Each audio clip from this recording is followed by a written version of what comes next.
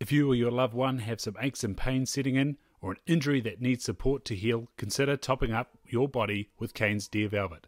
It's packed full of amazing nutrients that the body uses in maintaining the immune system, bones, joints, circulation, and general well-being.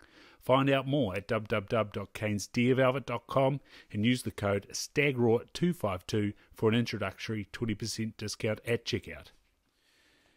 Kia people. Laurie McKay, Waipakihi Valley, Turangi, 2006. Uh, another 4x4, pearly whites on the end here. 31 and 3 by 32 and 5. Spread of 30, span of 23 and 3. The beams, they're 4 and 2 by 4 and 2. The coronets are 6 and 5 by 6 and 5. Brows are 8 and 7 by 8 and 6. The trays are 5 and 7 by 5 and 1. And the tops are 9 and 6 by a shorter 6 and 6. And the outer tops um, are a 13 and 6 on that left by 12 and 1. So uh, a bit more juice over there on the left side, um, despite the right side being longer. Anyway, Laurie's story. This yet this is yet another example of a trophy about which we know very little and have only the minimum of information. Obviously, I should tell you the score. Uh, it's 203 and 3 eighths. Obviously, a very attractive trophy. This stag being secured just on daylight as he was making his way back into scrubby cover, accompanied by several hinds. McKay took him with one shot over a range of about 100 metres.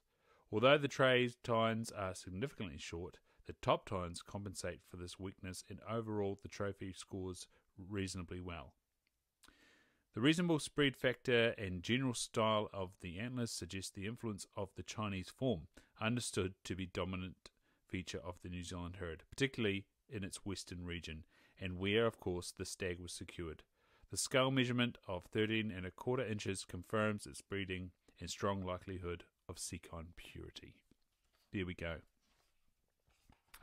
Next up, we have Dr. Nieth. I'm hoping I'm saying that right. N I E T H E. To Papa Stream, Ahimanawa Ranges from 1969. Make sure you're subscribed and join us there. And uh, hopefully, you've left the rating as well. Thank you. This episode of the Big Game Records, it's number one, The Sika, Volume 1.